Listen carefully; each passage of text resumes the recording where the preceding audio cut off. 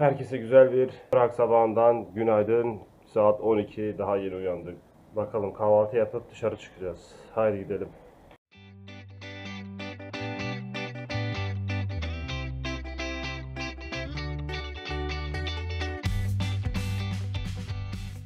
Neo Rönesans stiliyle arkamızda gördüğünüz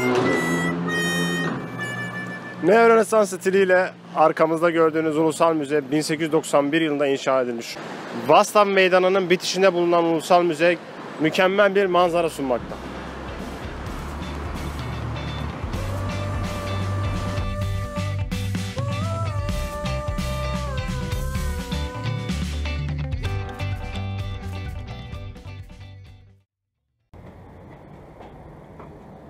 Müzenin içine giriyoruz. Umarım ücretli değildir. Ücretli. Yetişkin 250 kron. indirimli 150. 15 yaş altı çocuklar ücretsiz.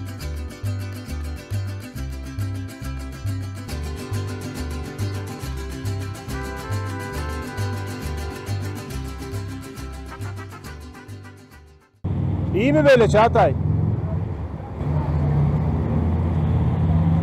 Sayemde bütün dünyayı gezdin ha. Geçen şu karşımızdaki meydanda bir baktım polisler geliyor. Ne oluyor dedik. Dört tane adam indi bir anda çöp yanıyormuş onu söndürdüler. Ben bir çöpe dört tane polis dedim bunların en büyük olayı bu herhalde. Türkiye'ye gelin bakayım. Ah bırak ah. Yeneceğim seni bırak. Yeneceğim. Yeneceğim. Gelmeyeceğim mi?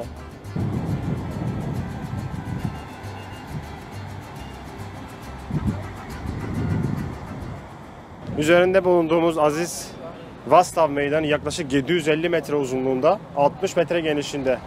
Ee, yaklaşık 400 bin insanı ağırlayabiliyormuş burası. Bütün etkinlikler, or- organizasyonlar burada yapılıyor. Burası ismini Aziz Vastav'dan almış. Arkamda gördüğünüz heykelden almış.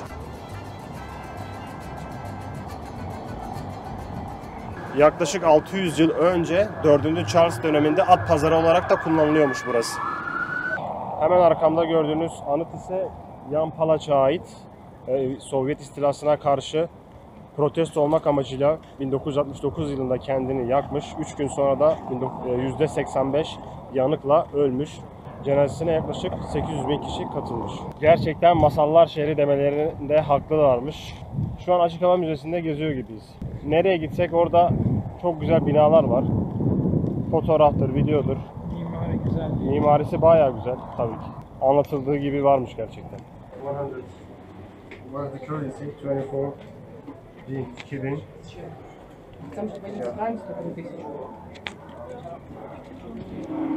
Binlik. 200'lük. 2400 100 euro verdik. 2445 kron aldık. Hedefimiz başka yere gitmekti ama dediğim gibi burası açık hava müzesi gibi Hedefimize giderken başka bir yer gördük. Oraya doğru yola çıktık. O dediğim yerde burası.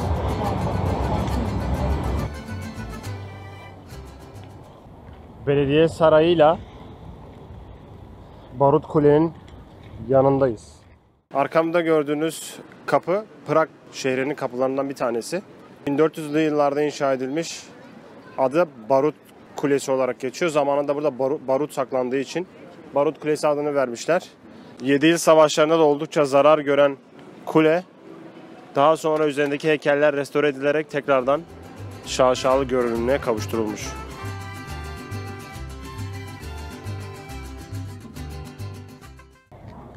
Şu an ana meydana doğru gidiyoruz. Turist en yoğun olarak bulunduğu turistlerin gözdesi eski meydan Old Town'a doğru ilerliyoruz. Geçtiğimiz sokakları göstereyim size. Akşam bir güzel restoran bulursak bir yerel bir yemek de denemek istiyoruz. Ben gördüm birkaç yerde restoran ama hani e, geleneksel işte Çek yemekleri falan diyorlar. Aha bak burası var. Kreklik. Ne kadar?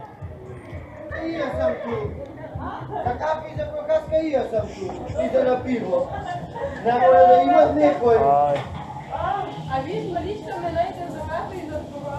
Spogovača, A ja budu samo da je vam. En ünlü tatlılarından biri.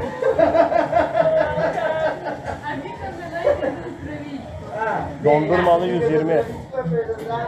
Dondurmalı 120. Dondurmalısı 120 kronmuş.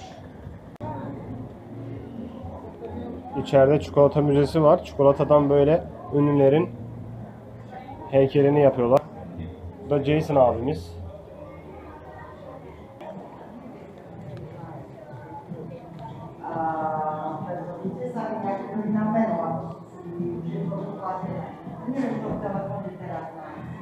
Çikolata değilmiş ya, bal mum heykeliymiş. Damara kadar yapmışlar. Vay be, çok gerçekçi ya. Olabilir mi acaba?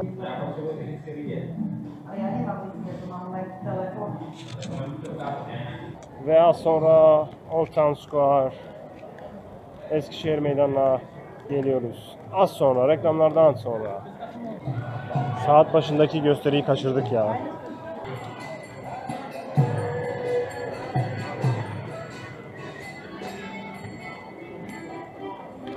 Ve Old Town Square.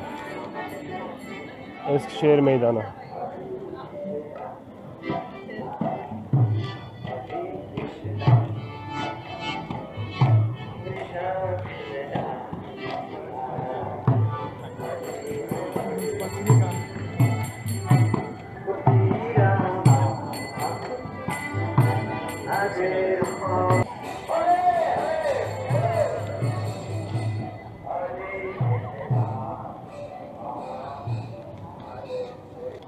Sonunda Old Town Square'a gelmiş bulunmaktayız. Tabii dün akşam biz geldik ama bugün ayrı bir videoda göstermek istedim. Akşam üzeri bayağı kalabalık gösteriler oluyor. Top sektirenler, freestyle yapanlar, her saat başı tarihi saatte gösteri oluyor. Bayağı kalabalık oluyor burası. Tin Kilisesi'nin en önemli özelliği, göze çarpan özelliği ise ikiz kuleleri. Yaklaşık 80 metredeki kuleler. Tabi buranın inşa edilmesinin amacı gelen yabancıların ibadete yönlendirilmesiydi. Şu an turistik olarak kimsenin ibadet ettiği yok. Gel gör git. Eski şehir meydanında şu kalabalığı görüyorsunuz her saat başında. Astronomik saat birazdan kulelerden buradan gözükmüyor ama. Gel. Astronomik saatin hareketliliğini izleyeceksiniz.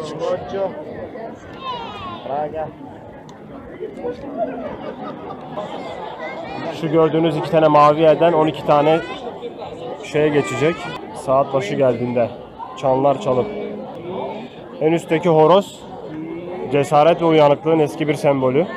Yeni günü ve güneşi karşılıyor. Ayrıca ötüşü de havarilerin geçişinin sonunu işaretliyor havariler çıkacak o iki mavi yerden. İki pencere arasındaki melek de saatin koruyucusu anlamına geliyor. Evet havariler çıkıyor.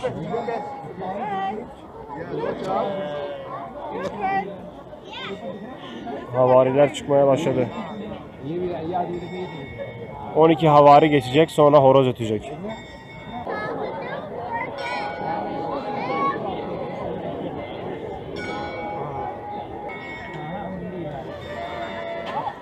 Evet horoz öttü, havariler gitti. Kapandı. Her saat başı bu ritüel gerçekleşiyor. Heykel hakkında birkaç bilgi vereyim. En solda elinde ayna tutan adam kendini beğenmişliği ve kibirliği temsil ediyor. Onun yanındaki para kesesini tutan adam ise cimriliği temsil ediyor. Şurada iskelet şeklindeki adam ise saat başında elindeki ipi bırakıp çanın çalmasını sağlıyor. En sağda elinde kemençe bulunan ise ismi Türk. Neden Türk demişler ona? Orta Çağ döneminde Hristiyanlar Müslümanları ve en büyük Müslüman devleti olan tabi Osmanlı'yı kafir ve eğlence düşkünü olarak düşündükleri için heykele Türk ismini vermişler. Astronomik saatin olayı bu. Kalabalığa bakabilirsiniz.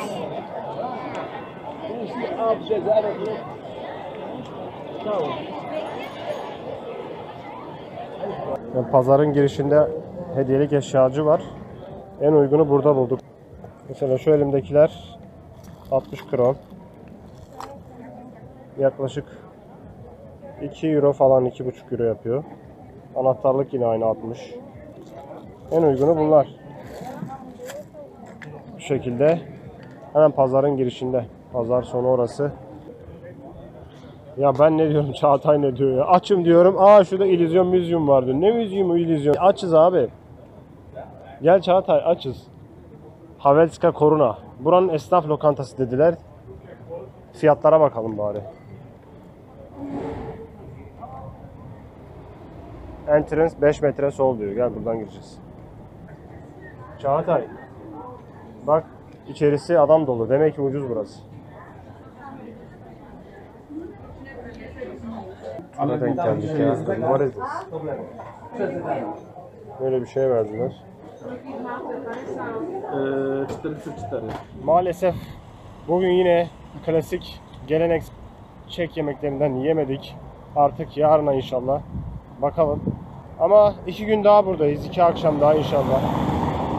Bir geleneksel Çek yemeği yiyeceğiz ya.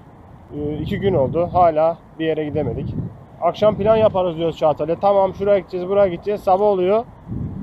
Hiçbir yere gidemiyoruz. Yine aynı yerler. Meydana gidiyoruz eski Ama meydan. dün, bugünden daha erken uyandık.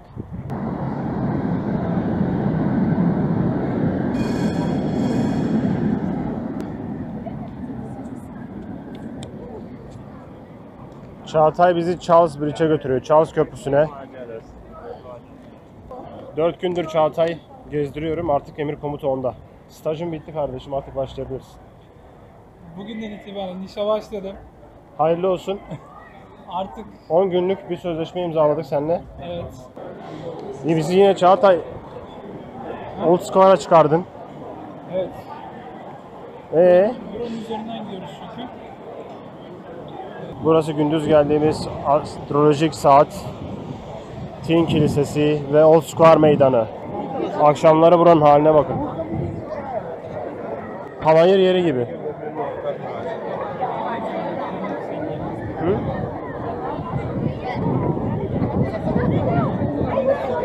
Sorry but not sorry. Old Square.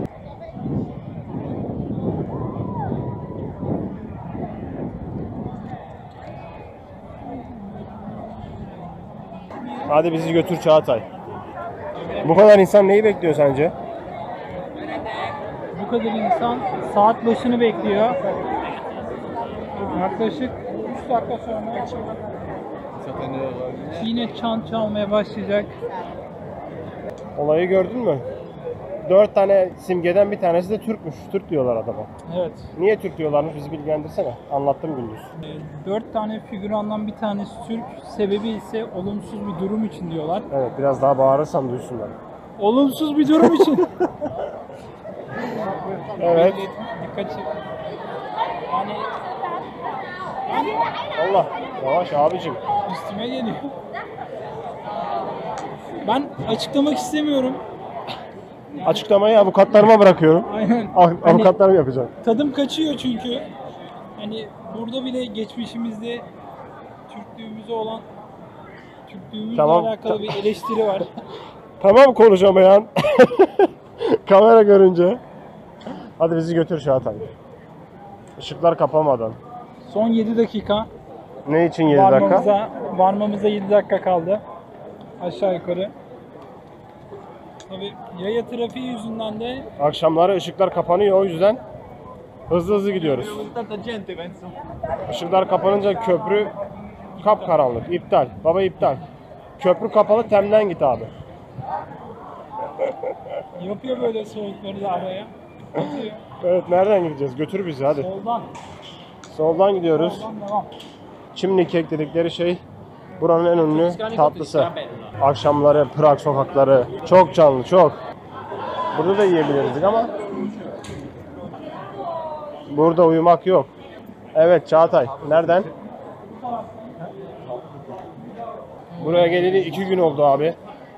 İki gündür geleneksel geleneksel çek, çek yemeklerini yiyeceğiz, yiyeceğiz, yiyeceğiz bir türlü yemedik. Bugün tatlısını yiyeceğiz inşallah. İnşallah. Çağatay bizi götürüyor. Emir komuta Çağatay'da umarım alabar olmayız. Çağatay bizi nereye getirdin? Çeklerin yine ünlü bir restoranının Burası ne? Sveik Breakfast Lunch Dinner. Arka tarafta mı acaba ha?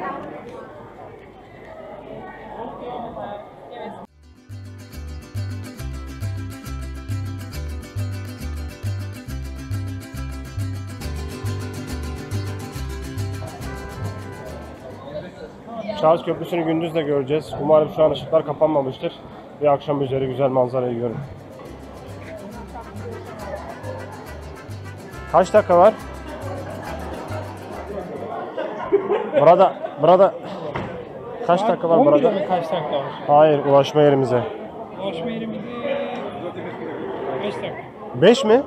5. Şaka yapıyorsun.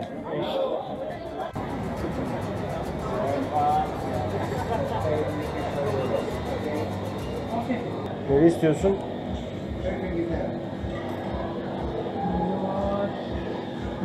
Bizi ulu geleneksel e, tatlılarını yemeğe getirdi Çağatay. Quality... Yes. Double pistachio. Evet, şeyle. Tamam al o zaman. Okay. Hayır. Evet, sonunda geleneksel Tren neydi? Tridik mi, trilik mi? Trinik yani Kuzey Güney'de de olan Makara. makaramızı Çağatay bizim makara yemeğe getirdi. Bilseydik kuzey güneyden alırdık. Şurası da Charles Bridge Köprüsü'nün giriş kapısı.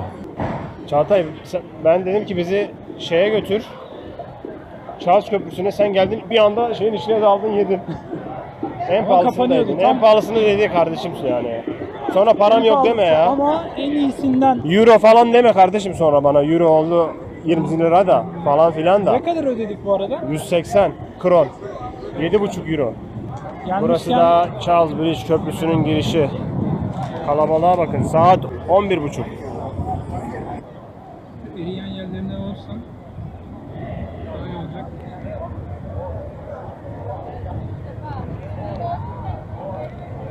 Buranın geleneksel tatlısı diyebiliriz.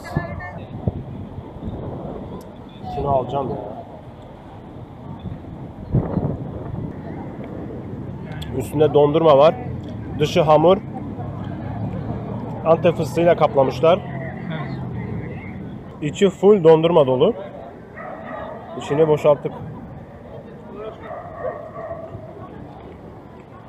Nasıl Çağatay? 10 üzerinden bir 8'i var. Rahat. 10 üzerinden 8'miş. Karşıda Prag Kalesi. Önümüzde Charles Köprüsü'nün girişi. Geleneksel tatlımız ve Prag'dayız. Daha ne olsun be Çağatay ya?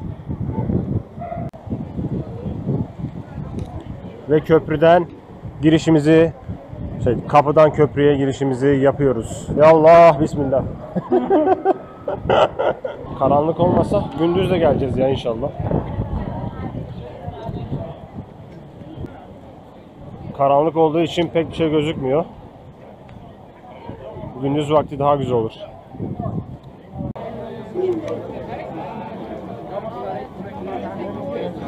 Köprünün oraya geldik. Saat 11.20. Tam fotoğraf çektim Çağatay'ı. Yine ışıklar kapandı köprünün. Artık yarına deneyeceğiz ya. 11.20'de ışıklar kapanıyor haberiniz olsun yani.